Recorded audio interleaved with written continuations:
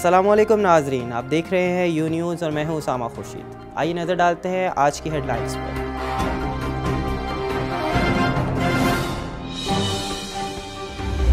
سابق وزیر اعظم کچھ دیر بعد لندن روانہ ہوں گے۔ مریم نواز بھی ساتھ ہوں گی۔ سابق وزیر اعظم اہلیہ کی عیادت کریں گے۔ سابق وزیر اعظم واپس آئیں گے یا نہیں؟ چہمگویوں کا بازار گرم۔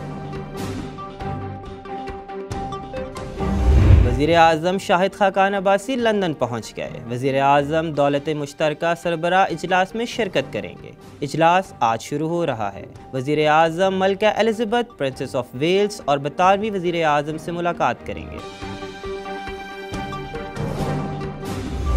امریکہ نے پاکستانی سفارتکاروں کی بلا اجازت نقل و حرکت کرنے کی تصدیق کر دی۔ اقدام پاکستان میں امریکی سفارتکاروں کی بلا اجازت نقل و حرکت کی پابندی پر اٹھایا گیا۔ محکمہ اینٹی کرپشن پنجاب کا گندم خریداری مراکز کی مانیٹرنگ کا فیصلہ۔ افسران کو شفاف خریداری کرنے کرپشن کے خاتمے اور من پسند افراد کو باردانہ فراہمی روکنے کی ہدایت۔ نظام شفاف بنانے کے لیے deputy director anti corruption Nawab Gondal Lahore میں خریدار سینٹرز کی مانیٹرنگ کریں گے۔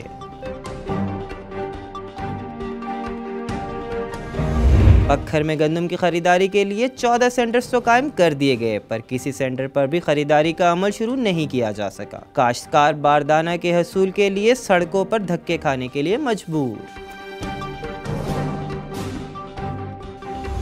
گوادر پورٹ سی پیک کے لیے نہیں بلکہ پاکستانی برآمد و درآمدات گنگان کے لیے بھی محفوظ۔ منافع بخش کارپورٹ خلیج فارس کا بہترین شپنگ روٹ فراہم کرے گی۔ بڑی منڈیوں تک رسائی کا بہترین ذریعہ۔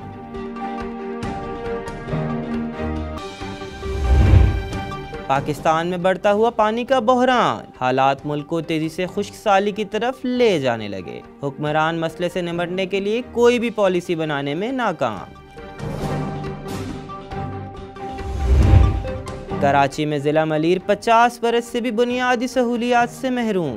گڈاپ ٹاؤن کے متعدد گوٹ آج بھی کھنڈرات کا منظر پیش کر رہے ہیں۔ سرگودا میں سیوریج کا درینہ مسئلہ حل نہ ہو سکا۔ کئی علاقے تالاب کے منظر پیش کرنے لگے۔ شہریوں کو مشکلات کا سامنا۔ جھنگ میں پنجاب حکومت کی تعلیمی ایمرجنسی کا پول کھل گیا۔ گوجرا روڈ پر دانش سکول کے لیے مختص باسٹھ ایکڑ اراضی ٹھیکے پر دے دی گئی۔ اراضی پہ کالونی کی تعمیر شروع کر دی گئی۔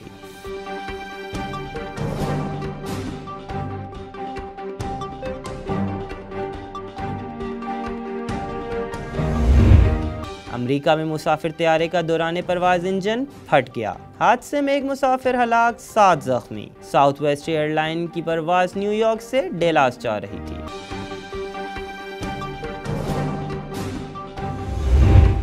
اور پاکستان سمیت دنیا بھر میں آج ثقافتی ورثے کا دن۔ خوبصورت رنگ، دل نشیں، تہذیبی انداز اور دل میں اتر جانے والے پاکستان کی ثقافتی رنگ آنکھوں اور دل میں اتر جاتے ہیں۔